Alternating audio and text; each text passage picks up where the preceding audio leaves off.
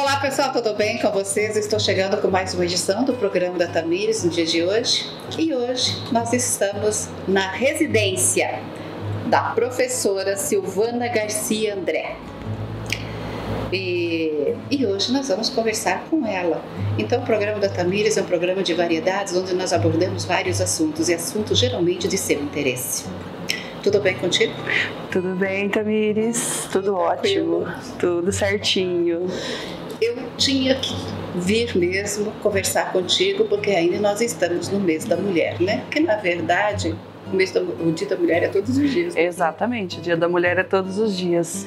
Mas como temos um mês especial, então não podemos deixar passar sem conversar com a professora Silvana.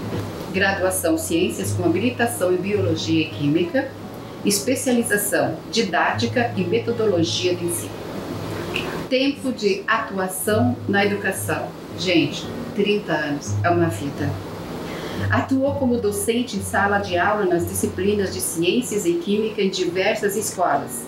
Colégio no Paraná, atuou como coordenadora da equipe pedagógica no Núcleo Regional Educação, atuou como gestora por sete anos no Colégio Estadual Tarquinho Santos, em Foz do Iguaçu, como técnica pedagógica no Núcleo Regional de Educação de Foz do Iguaçu, onde desenvolveu um trabalho de formação junto às instâncias colegiadas das escolas e formação para professores voltadas a práticas de laboratório e atualmente atua como chefe no Núcleo Regional de Educação em Foz do Iguaçu, desde 2019.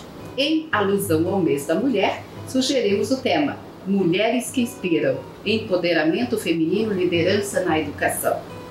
Eu estou muito feliz em poder estar aqui contigo e obrigado por abrir as portas dentro da sua residência e nos receber no dia de hoje para falarmos um pouquinho sobre o mês da mulher. Eu que agradeço a oportunidade de batermos esse papo e conversarmos um pouquinho, principalmente dentro da área que eu tanto sou apaixonada, que é a educação. Verdade, 30 anos. É uma. É uma boa caminhada. Você começou cedo, né? Comecei bem jovem, aos 20, 21, eu, 22 anos. Vamos direto ao assunto então, para aproveitar o nosso tempo. Qual é o trabalho realizado no Núcleo Regional de Educação? O Núcleo Regional de Educação, ele é uma extensão da Secretaria Estadual de Educação do Paraná. Então, a Secretaria Estadual de Educação ela fica em Curitiba.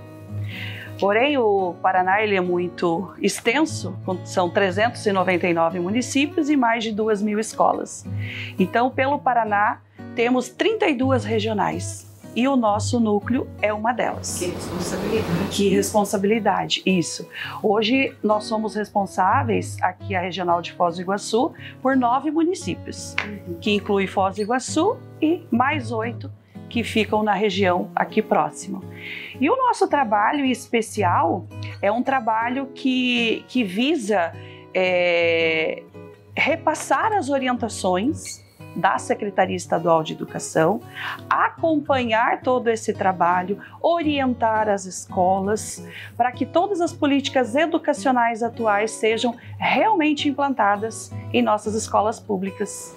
E como é ser uma mulher inspiradora? Você com certeza é bem inspiradora por todo esse tempo já de caminho, né, estrada, como nós falamos.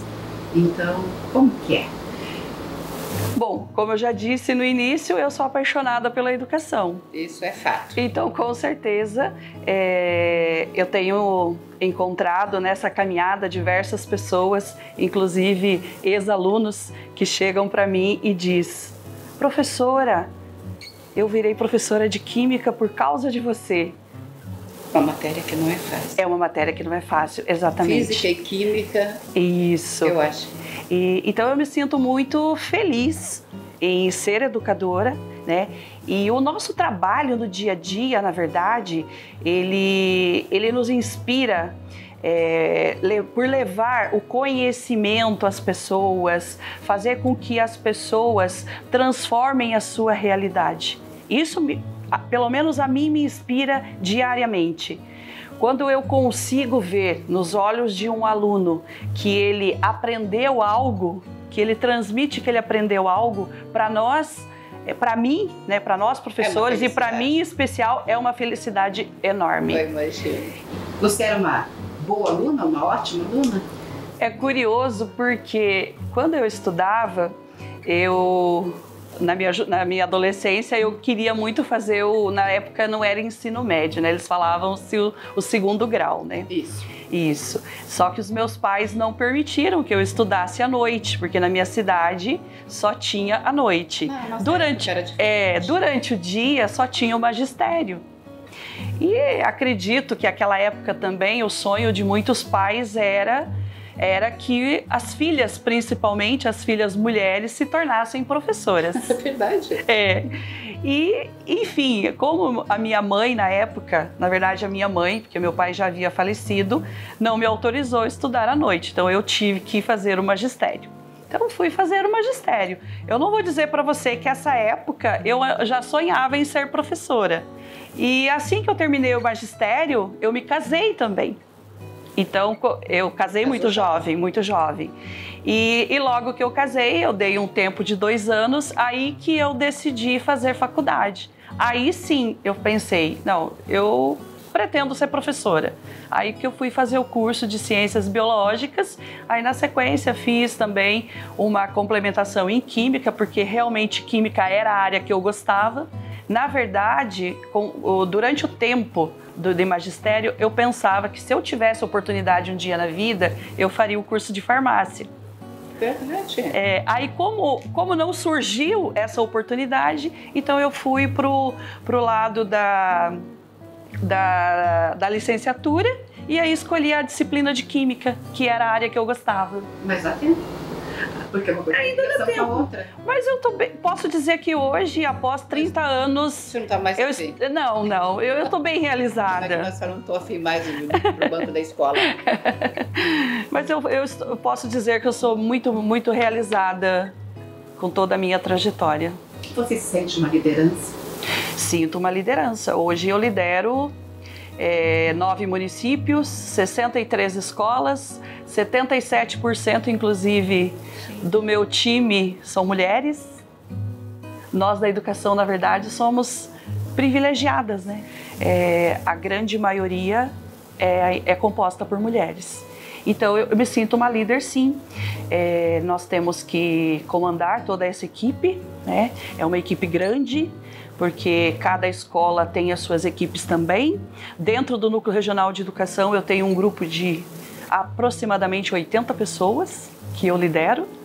Então a gente tem que estar sempre é, antenado, sempre acompanhando, é, trabalhando com. Eu gosto muito de trabalhar com autonomia, acompanhar, com certeza, dar todo o suporte que eles vão conseguir desenvolver o trabalho com sucesso. Quais são as ações exitosas que ganharam destaque nos últimos quatro anos? Pois é, fala, falar dos últimos quatro anos não é muito fácil, porque passamos por um desafio muito grande. Acho que não teve aquele, né, Silvana? É, eu acredito que todas as áreas tiveram muitos desafios e a educação ela não foi diferente. Principalmente, eu acho que foi bastante complicado. É, nos afetou bastante. E nós tivemos que, dentro de poucos dias, podemos dizer assim, tomarmos algumas decisões muito firmes, encarar as, as dificuldades para que a gente pudesse é, atender os alunos durante todo aquele período da pandemia. A pandemia, para nós, na verdade, ela foi um grande aprendizado. E eu costumo dizer que além de tudo isso, ela acabou trazendo um lado positivo para nós. Por quê? Porque ela acelerou algumas pautas que, lógico, nós já vínhamos programando isso para que isso fosse realizado no decorrer dos anos, porém se tornou necessário ser acelerado, como por exemplo a tecnologia. O uso das tecnologias, exatamente.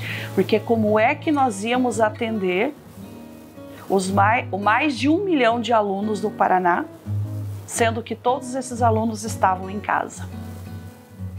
Foi daí que surgiram, as, foram surgindo as possibilidades, né? As aulas online, a entrega. Tiveram que se reinventar, né? sim, né? sim, a entrega das atividades para esses alunos, enfim, veio tudo isso. Então esse, esse foi um grande desafio.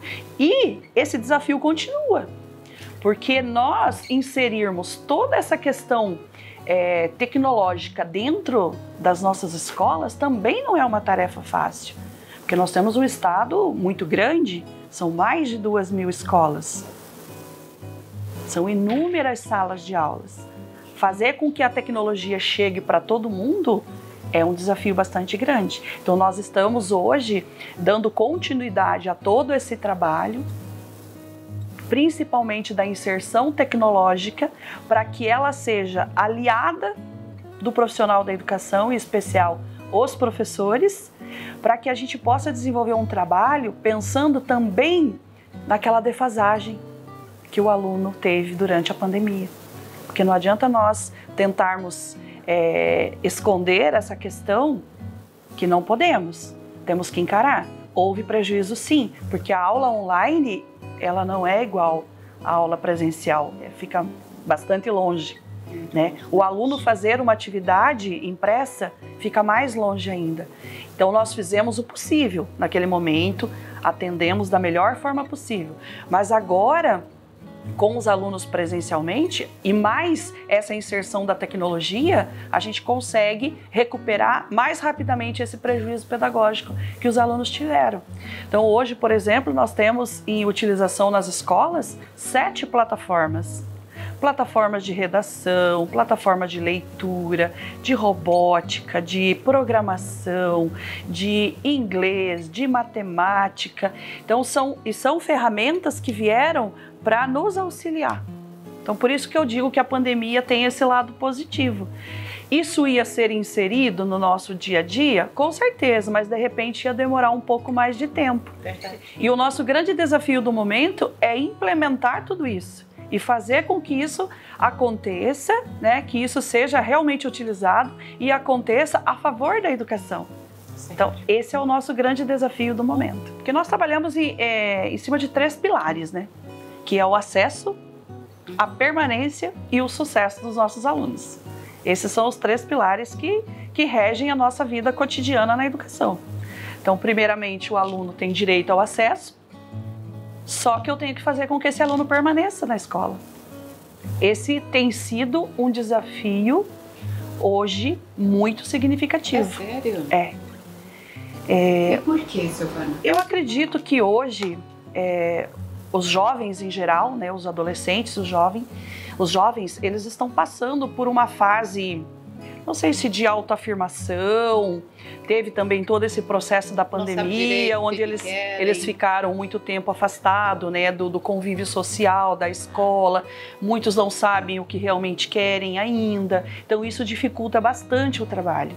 Então a gente tem assim um, um, um número significativo de alunos que ainda é, faltam muito à escola. Então, esse, esse desafio da permanência do aluno na escola é bastante grande. Então, por isso, é, eu ressaltei anteriormente a questão tecnológica, porque hoje nós estamos nessa era tecnológica.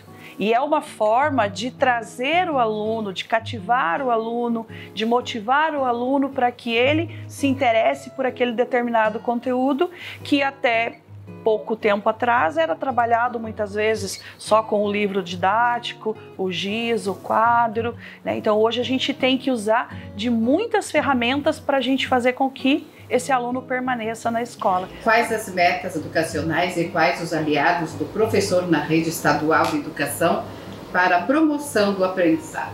É, como, como eu já estava falando, né, a implementação de todas essas políticas educacionais, né, como a inserção tecnológica. Uhum. Esse, é, esse é um trabalho contínuo que nós vamos dar continuidade né, nos próximos quatro anos. E, e também uma questão bastante importante é a formação do profissional da educação. E a gente vem trabalhando muito. E nos próximos quatro anos isso vai, vai ser bem forte. A formação do professor, o professor estar o tempo todo estudando, se atualizando, É se aprimorando, exatamente, principalmente por conta de todas essas mudanças que o mundo todo vem sofrendo, né? Não é uma questão local, é uma questão mundial. O público que eu recebo em 2023, ele é completamente do público que recebemos em 2022, que vai ser completamente do público que eu vou receber em 2024. Então nós vamos ter que estar nos reinventando todos os dias. E a formação dos profissionais da educação, ela é muito importante e muito aliada nesse processo. E também é, trabalhar com incentivo, né? Quando eu falo de incentivo, eu não falo só em questões salariais. A questão salarial, lógico, ela é muito importante também, Sim, claro. né? Porém, nós temos também outros fatores que envolvem esse processo. Nós precisamos é, ter motivação, né? Motivação. E a Secretaria Estadual de Educação é, tem tem motivado através de alguns programas, como por exemplo, é, nós temos o Ganhando Mundo alunos e nós temos o Ganhando Mundo professor. O que, que é o Ganhando Mundo? É a oportunidade que alunos hoje da escola pública têm, que até certo tempo não tinha, de fazer um intercâmbio no exterior.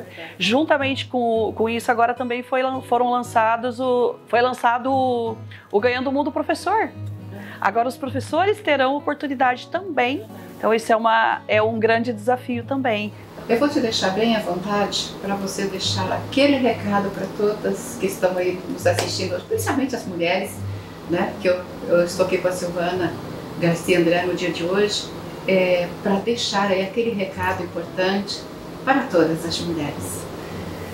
Bom, não poderia ser diferente. Eu, como uma profissional da educação, eu tenho que puxar para o meu lado. Então, gostaria sim de falar para todas as mulheres, aquelas que já conquistaram seu espaço, né, desejar todo o sucesso do mundo e, com, e que continuem sempre lutando pelo melhor. E aquelas mulheres que de repente ainda não conquistaram, né, as jovens, as adolescentes, dizer para elas que a educação ela transforma, ela transforma vidas. Né? Então, através da educação, todas as pessoas, inclusive nós mulheres, podemos conquistar o lugar que nós quisermos. Então, essa é a minha, a minha mensagem para todas as mulheres. E eu quero te agradecer imensamente por este momento tão importante com o programa da Tamires, né? A Silvana Garcia André deixando esse recado para todas e falando um pouquinho dela. É claro que eu gostaria de fazer aqui um bate-papo com você, né? Mais demoradinho, tudo mas não vai faltar oportunidade para que nós possamos voltar a conversar e deixar, claro, nosso recado para todas. Com certeza. Todas as mulheres e os professores também. Professores, viu? Os uhum. homens aí, considerem-se também abraçados, né? E com todo respeito. Não é verdade? Obrigada pela oportunidade. Eu que agradeço. Eu vou para o comercial, porque nós temos culinária. Volto já.